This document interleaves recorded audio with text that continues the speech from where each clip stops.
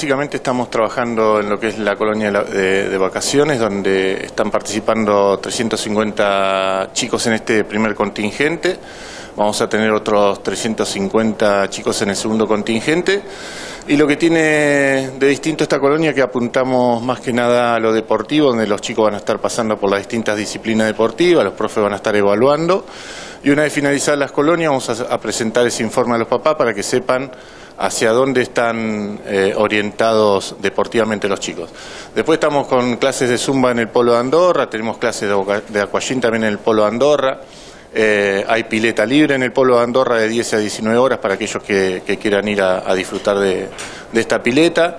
Eh, y nada, trabajando y planificando ya todo lo que es el 2019 con las escuelas deportivas y los eventos que vamos a llevar adelante. Y en ese sentido, ¿en qué se viene trabajando? ¿Ya hay alguna fecha y evento eh, diagramado?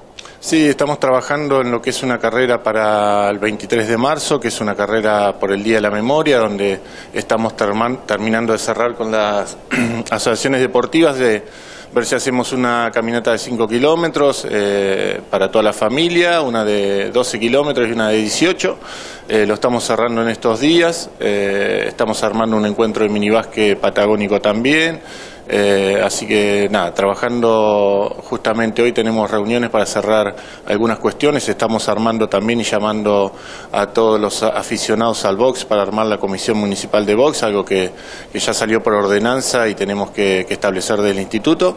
Así que nada, aprovechando este mes que, que es bastante tranquilo para planificar todo lo que es el 2019.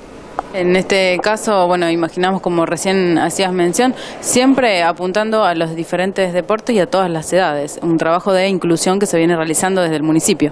Sí, claro, nosotros trabajamos desde los más chiquititos hasta adultos mayores. Eh, arrancamos desde los 3 años hasta los 80 años que tenemos el Newcon en, lo que es lo deportivo.